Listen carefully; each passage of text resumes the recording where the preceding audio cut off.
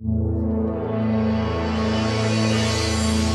going to end with one beef question for you Uh-huh. because there is no doubt in my mind that a certain kill scene that you're involved in is going to wind up being one of the best screen deaths of all of all time So this good. year. Oh, whenever. really? Oh my So gosh. So, when you're filming a moment like that, specifically when she's pressing the button, do you think Naomi is doing that with the intention to kill, with self preservation being the top priority, or a mix of both? I I think that for me, it's always I I try so hard not to judge the characters that I'm playing and really put myself in that situation.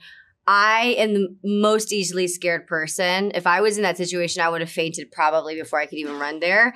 Um, for me, it's I think there's such a conflict in that moment of like I want to help, but like, what am I doing? Like, I, like I, I think there's, you know, when you've been, I've been in life and death situations. When you're in those situations, you're not like thinking in a precise or concise way. Um, at least she was not. So I don't think there's any intention but to like maybe help, maybe not, maybe just do what the director says and the writer says and Sonny says. So um, I think that that's exactly what happens, and which is why there's probably so much conflict in her by the end of it of like, what just happened? Oh my god, You know? that moment effed me up. I literally sent Ashley a reaction video, my hand over my mouth. I was shocked. And you were watching, and you said, "We're on this. We're, um, we're on this episode." And I was like, "You were on this episode?" I was like, "What? What? Were you a background? What, Deep, what are you deep, talking deep about?" background. Yeah, yeah, yeah, yeah. Uh, but I, I mean, I could unpack that episode for hours.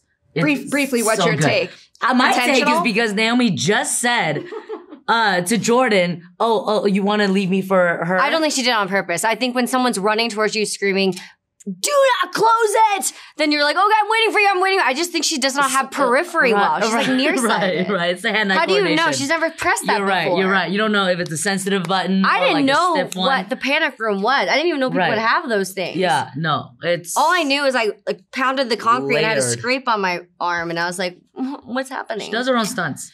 We try.